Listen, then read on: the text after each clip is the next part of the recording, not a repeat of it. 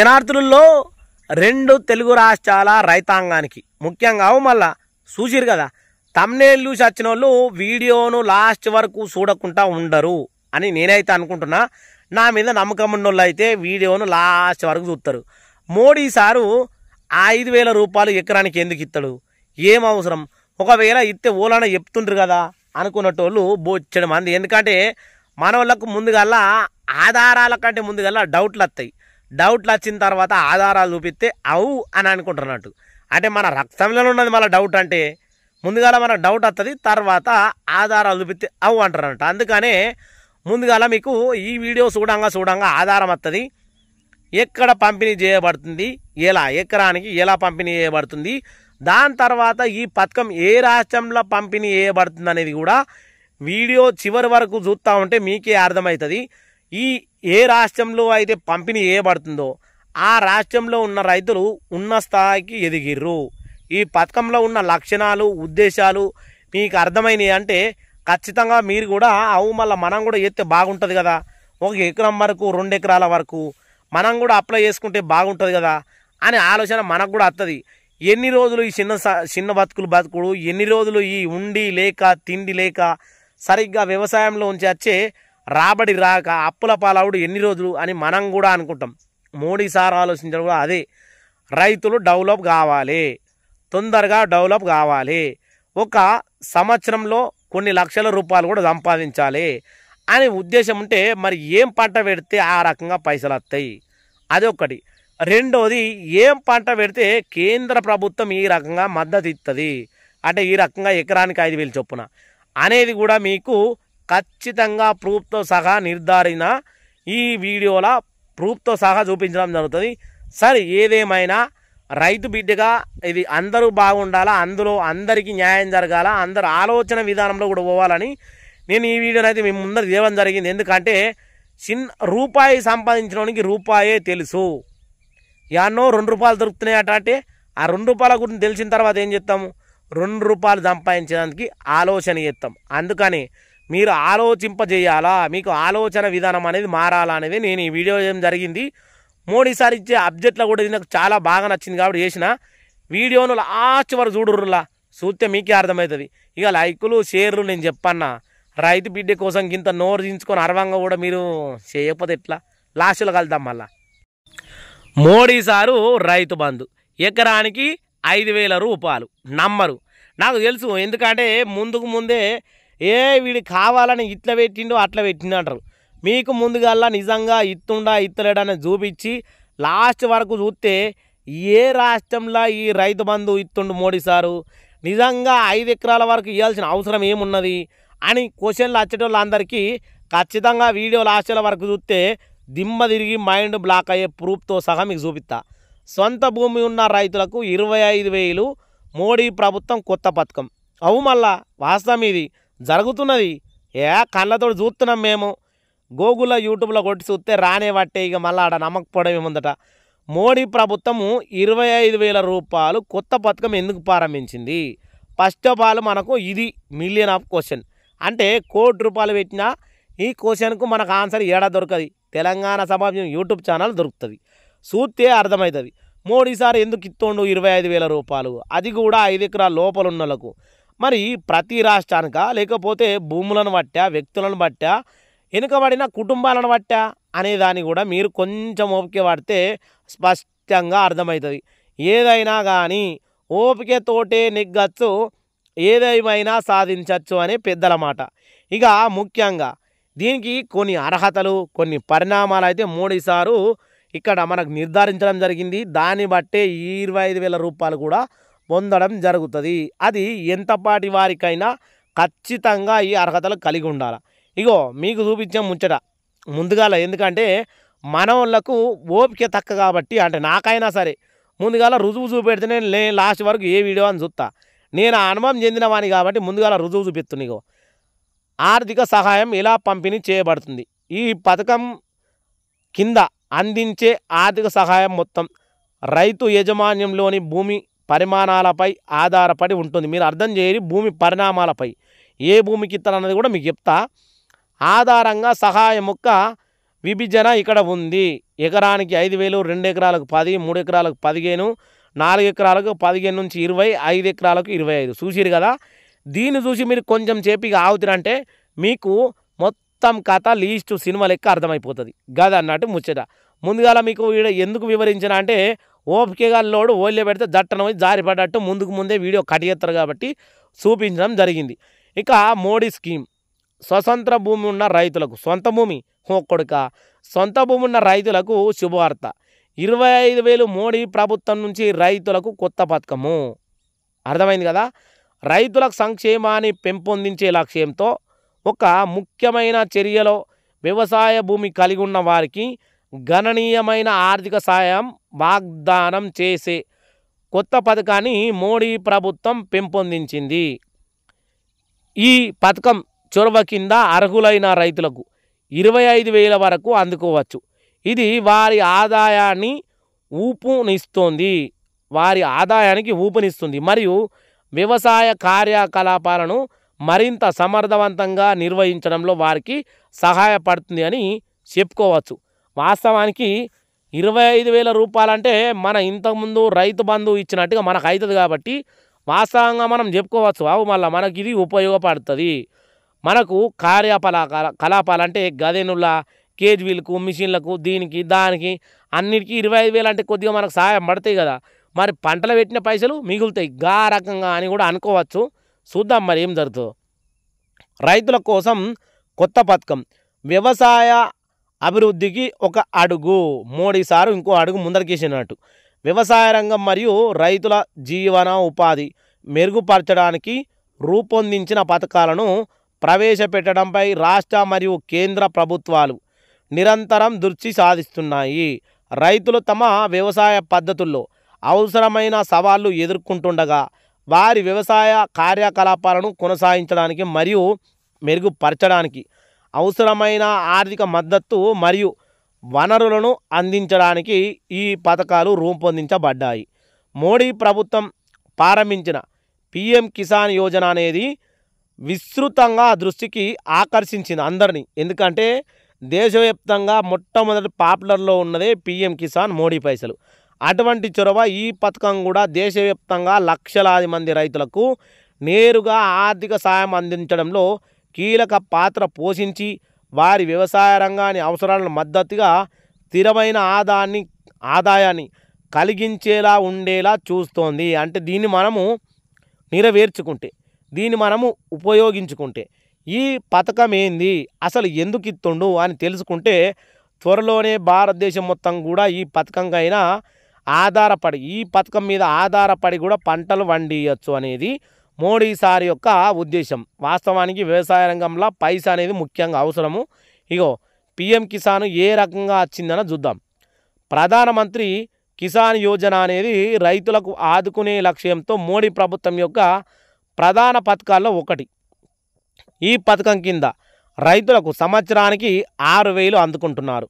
ఒక్కొక్కరికి విడుదల వారీగా రెండు వేల రూపాయలు మూడు సమాన వాయిదాల్లో పంపిణీ చేయబడుతుంది. ఈ చెల్లింపులు ప్రతి నాలుగు నెలలకు ఒకసారి జరుగుతాయి. తద్వారా రైతులకు క్రమంగా నిధులు వచ్చేలా చేస్తుంది.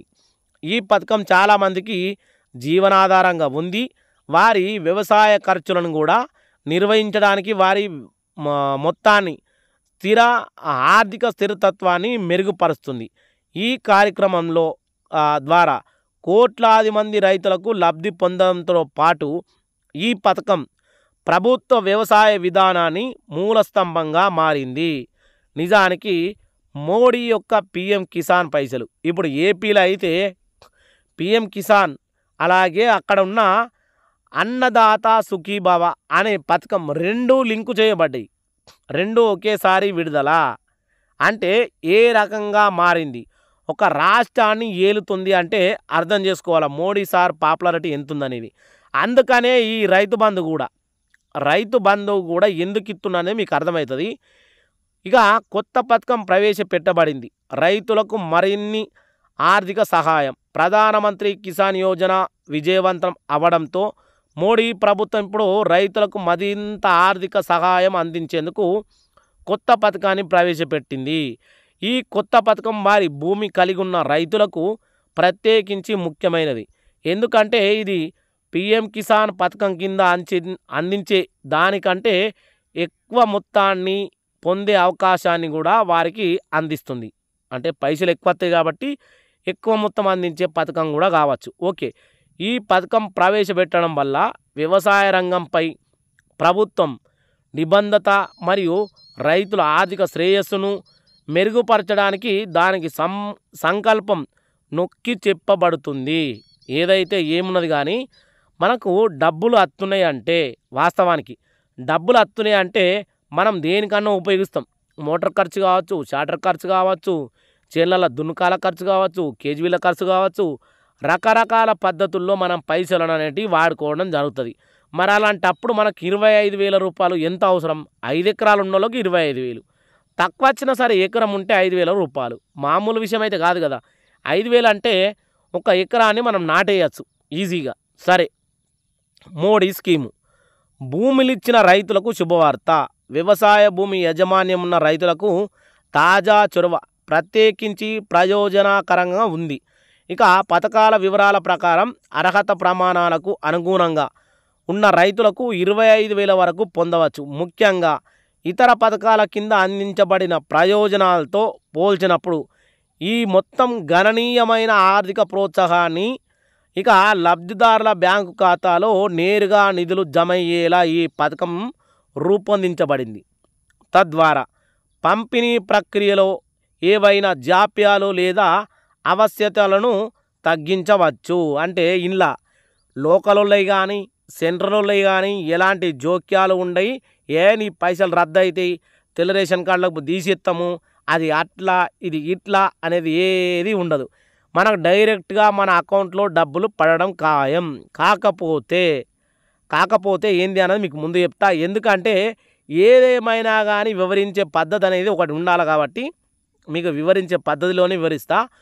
మోడీ ప్రత్యేక ప్రభుత్వ ప్రత్యేక పథకం. ఈ పథకం మీకు ఇప్పుడు ఇది ఒక లక్ష రూపాయలు ఇచ్చినా కానీ మీకు దొరకనటువంటి క్వశ్చన్. ఈ పథకము ఎక్కడ వినియోగించబడుతోంది? ఈ పథకము మోడీ ప్రభుత్వం విస్తృత విస్తృత చొరవతో భాగంగా ఉండగా ప్రస్తుతం దీన్ని జార్ఖండ్ రాష్ట్ర ప్రభుత్వం అమలు చేస్తోంది. వ్యవసాయ భూమి కలిగి ఉన్న జార్ఖండ్ రైతులు నిష్ట షరతులను అనుగుణంగా ఉంటే ఈ ప్రయోజనాన్ని పొందవచ్చు అని అక్కడి రాష్ట్ర ప్రజలు చెప్తున్నారు రైతులు చెప్తున్నారు అన్నట్టు ప్రాథమిక అర్హత ప్రమాణం ఏమిటంటే రైతులు తప్పనిసరిగా భూమిని కలిగి ఉండాలి. ఖచ్చితంగా భూమి ఉండాలి. ఈ ప్రత్యేక విధానం వ్యవసాయ కార్యకలాపాల్లో ప్రత్యేకంగా పాల్గొనే వారికి మరియు మద్దతు అవసరమైన వారికి ఆర్థిక సహాయాన్ని చేరేలా నిర్ధారిస్తుంది. ఇక్కడ ఉన్నమాట అంటే అన్నమాటకే లోటొచ్చానంటూ అక్కడ రైతులు ఏమంటున్నారంటే భూమి ఉండాలి వ్యవసాయం మీద అవగాహన కలిగి ఉండాలి కలిగి ఉన్నప్పటికీ మనం పెట్టే పంట ప్రభుత్వం లీస్టులో ఉందా లేదా? మరి ప్రభుత్వం ఏ పంట పెడితే మనకు ఈ రైతు బంధు ఇస్తా అంటుంది అన్న దాని మీద మీకు ఇప్పుడు ఎగ్జాంపుల్గా రావాల్సిన డిక్లరేషన్ అంటే డిక్లేర్ కావాలా? ఎవరి ఊహాగానాలైనా డిక్లరేషన్ అయితేనే అవును అని అనుకుంటారు అన్నట్టు. ఆర్థిక సహాయం ఎలా చేయబడుతుంది? అంటే పంపిణీ చేయబడుతుంది. చూద్దాం. ఈ పథకం కింద అందించే ఆర్థిక సహాయం మొత్తం రైతు యజమాన్యంలోని భూమి పరిణామాలపైన ఆధారపడి ఉంటుంది. భూమి యజమాన్యం ఆధారంగా ఆర్థిక సహాయం యొక్క విభజన కూడా ఇక్కడ ఉంది. అంటే వీళ్ళు చెప్పేది ఏంటంటే మనకు ఎకరం భూమి ఉందనుకో వాళ్ళకి ఐదు వేలు.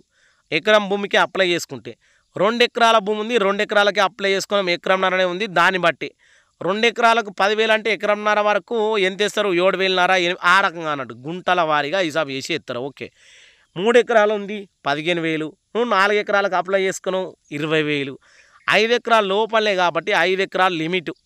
ఐదు ఎకరాల వరకు ఉంది అంటే ఇరవై ఐదు వేలు ఖచ్చితంగా. ఐదు ఎకరాల కంటే సెంటు భూమి ఎక్కున్నా కానీ ఈ యొక్క పథకంలో రద్దు. అంటే వాళ్ళకు దీంట్లో పరిణామం కానీ చొరవ కానీ ఏమీ ఉండదు. వాళ్ళకి దీంట్లో రావడానికి ప్రసక్తే లేదు. ఓకే.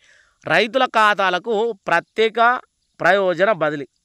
ఈ పథకం యొక్క ముఖ్య లక్షణాల్లో ఒకటి ప్రత్యేక బదిలీ విధానం.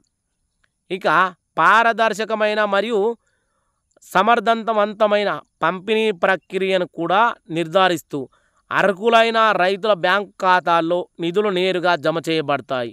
ఈ పద్ధతి నిధుల దుర్వినియోగము అవకాశాలను తగ్గించడమే కాకుండా అవసరమైన జాప్యం లేకుండా రైతులకు ఆర్థికంగా సహాయం అందించేలా చూస్తుంది. ఇక్కడ మనం మనం ఒకటి ఆలోచన చేయాలి.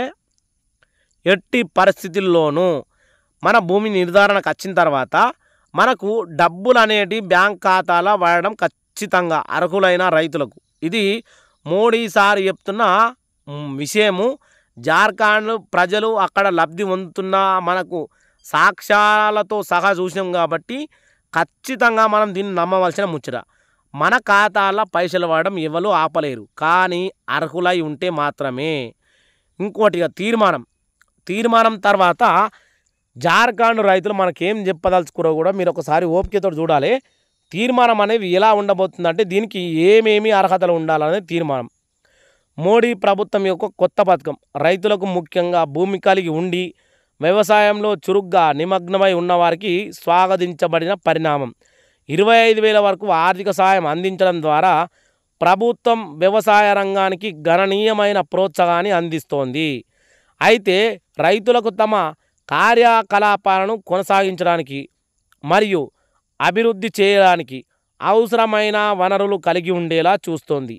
రైతులకు ఆదుకునేందుకు మరియు వారి జీవనోపాధి మెరుగుపరచడానికి ప్రభుత్వం కొనసాగిస్తున్న నిబంధత ఖచ్చితంగా పథకం ప్రతిబింబిస్తుంది. అంటే ఏదైతే నిబంధత అంటే చట్ట ప్రకారం ఒక లెక్క అంటే లెక్క ప్రకారం అన్నట్టుగా లెక్క ప్రకారం దేని దేనికి అర్హతలు ఉన్నాయో వాళ్ళను మాత్రమే దీంట్లో తీసుకోవడం జరుగుతుంది.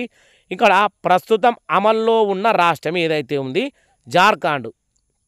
జార్ఖండ్లోని రైతులు అన్నదప్పు ఆర్థిక సహాయాన్ని పొందేందుకు మరియు వారి వ్యవసాయ ఉత్పత్తికను పెంపొందించడానికి ఈ అవకాశాన్ని పూర్తిగా వినియోగించుకోవాలని ప్రోత్సహించారు. అంటే ఈడ ప్రభుత్వానికి వాళ్ళు సపోర్ట్ చేశారంటూ ఏదైతే ఈ పథకం కూడా రాష్ట్ర ప్రభుత్వం కూడా అమలు చేయవచ్చు.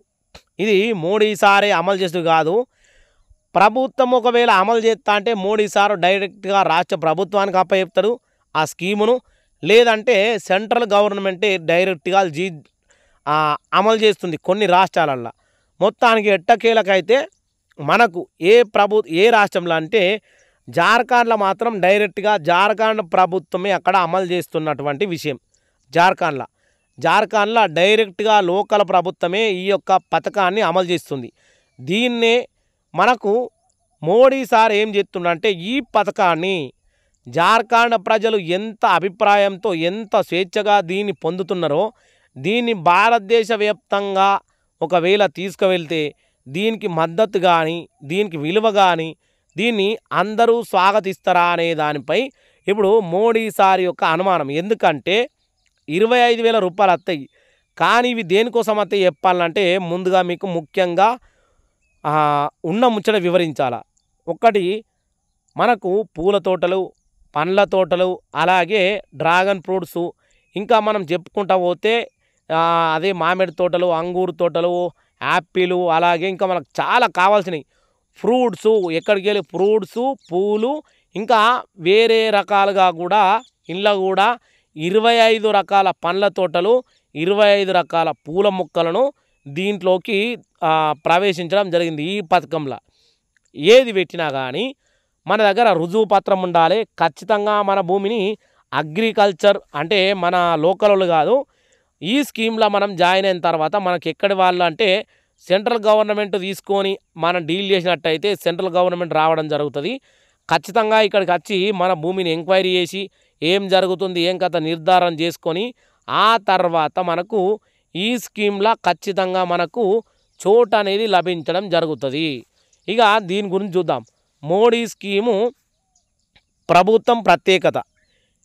భూమి ఈ పథకం మోడీ ప్రభుత్వం విస్తృత చొరవతో భాగంగా అమలు చేస్తోంది. వ్యవసాయ భూమి కలిగి ఉన్న రైతులు జార్ఖండ్లోని అంటే జార్ఖండ్లో ఉన్నారని విషయం జార్ఖండ్లోని రైతులు మాత్రం ఈ ఒక్క షరతులు అనుగుణంగా ఉంటే ఈ ప్రయోజనాన్ని పొందవచ్చు. ఆర్థిక ప్రాథమిక అర్హత ప్రమాణం ఏమిటి అంటే రైతులు తప్పనిసరిగా భూమి కలిగి ఉండాలా? ఈ ప్రత్యేకమైన విధానం వ్యవసాయ కార్యకలాపాల కలాపాలలో పాల్గొనే వారికి మరియు మద్దతు అవసరమైన వారికి ఆర్థికంగా అందించేలా నిర్ణయిస్తుంది. ఇక ఆర్థిక సహాయం పంపిణీ చేయబడుతుంది. ఈ పథకం కింద అందించే ఆర్థిక సహాయం మొత్తం రైతు యాజమాన్యంలోని భూమి పరిణామంపై ఆధారపడి ఉంటుంది. భూమి యజమాన్యం ఆధారంగానే ఈ ఆర్థిక సహాయం యొక్క విభజన ఇక్కడ ఉంది. మనకి ఏదైతే భూమి కలిగి ఉందో దాని మీదనే ఆధారపడి మనకిచ్చే పైసలు కానీ మనకిచ్చే పంపిణీ కానీ ఉంటుంది. జార్ఖండ్ ప్రజలైతే ఈ యొక్క పథకాన్ని లబ్ధి పొంది ఆల్రెడీ ఒక ఎకరం ఉంటే ఎకరంలో పూల తోటలు పండ్ల తోటలు తొందరగా వచ్చేది పెట్టుకున్నా కానీ దానికి ప్రాబ్లం లేదు. నీళ్ళు పైసలు అన్నీ కలిగించి అసలు మోడీ ఈ రకంగా రైతులకు ఎందుకు సపోర్ట్ చేస్తున్నాడంటే పండ్లకు ఎక్కువ డిమాండ్ ఉంది పువ్వులకు ఎక్కువ డిమాండ్ ఉంది.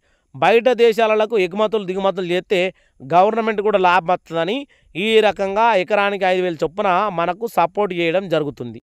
చూసింది కదా జార్ఖండ్ రాష్ట్రంలో ఈ యొక్క పథకాన్ని పొందుతూ ఈ పథకాన్ని పొందుతూ రైతులు ఇప్పటికే లబ్ధిదారులుగా ఉన్నత స్థాయిలోకి ఎదుగుతున్నారు.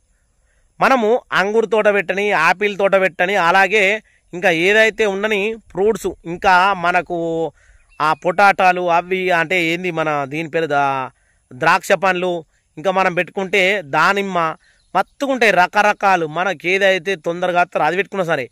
లేదంటే పూల తోటలు. పూల తోటలు పెట్టుకుంటే దాని మీద ప్రత్యేకమైన సబ్సిడీ ఇస్తారు దాని మీద ప్రత్యేకమైన లోన్ అనేది వస్తుంది పూల తోటలు అయితే తొందరగా మనము తొందరగా లబ్ధి పొందవచ్చు. ఏళ్ళ తరబడి వేడియాల్సిన అవసరం కూడా లేదు. పూలకు కూడా ప్రత్యేకమైన డిమాండ్ ఉంది. ఇక్కడనే కాదు బయట దేశాలకు కూడా. కాబట్టి మీరు ఎలాంటి పూల తోటలు పెడతారు? మల్లె కావచ్చు గులాబీ కావచ్చు అలాగే మన దగ్గర బాగా అంటే బంతి చామంతి ఇలా రకరకాల పూలలో కూడా పది పదిహేను రకాల పూలు ఉన్నాయి ఆ పూల తోటలు పెట్టినా కూడా మీకు కేంద్ర ప్రభుత్వం ఉన్నత స్థాయిలో మద్దతు. నీళ్ళు లేని భూములలో పెడితే నీళ్ళు కూడా ఇచ్చే అవకాశం. మోటారు బోరేసి వేయడం. ఈ ఒక్క సౌకర్యం కాదు. దీని గురించి మీకు ఈ లింక్ అనేది కింద మన వెబ్సైట్లు అనేది ఈ వెబ్సైట్ ఎక్కడ ఉంది ఏం కథ దీని గురించి జార్ఖండ్ రాష్ట్రం యొక్క హిస్టరీ మొత్తం ఈ లింకులో ఉన్నది. కింద లింక్ ఓపెన్ చేస్తే మీకు ఖచ్చితంగా వీడియోలో ఉన్న ఈ రకం మొత్తం అర్థమవుతుంది. ఏదేమైనప్పటికీ వీడియో ఇప్పటి వరకు చూసిన వాళ్ళు అర్థమై ఉంటే ప్లీజ్ లైక్ షేరు సబ్స్క్రైబ్ చేసి సపోర్ట్ చేస్తారనుకుంటా జై తెలంగాణ.